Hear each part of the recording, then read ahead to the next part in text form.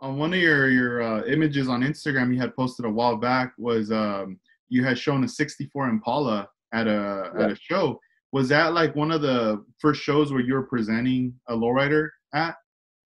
Yeah, so that was our IPMS, which is International Plastic Model Society. So that's one of the groups that we have here um, in Durban, which is a, an area of South Africa that I'm from. Um, so it's a group of, of plastic modelers. Some of us build cars, some build aircraft, some build a little bit of everything. And once a year, we have like a model of the year. All right. So I showed that was my Impala I showed there.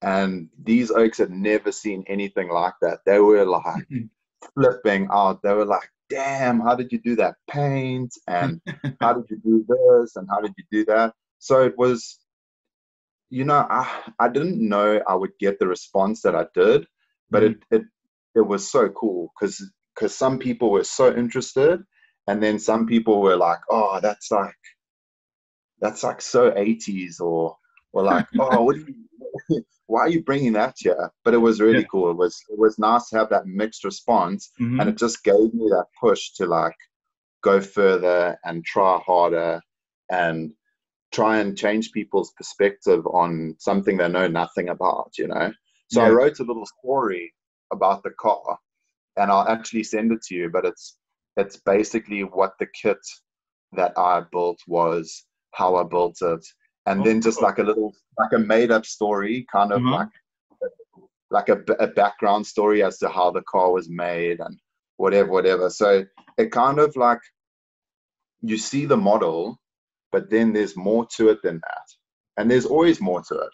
I mean, no one knows what I was thinking when I was building it or how I was feeling when I was building it. So I kind of created this backstory. So if someone wasn't interested in what they were seeing visually, maybe the words jumped off the page and could have captured them. So, and people appreciated that. They were like, hey, man, I like the fact that you took the time to write something out and let us know what was going on or like how you actually got to where you got. Yeah. So it was cool.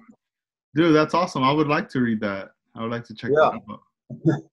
For sure. So I've still got that 64. It was my first one.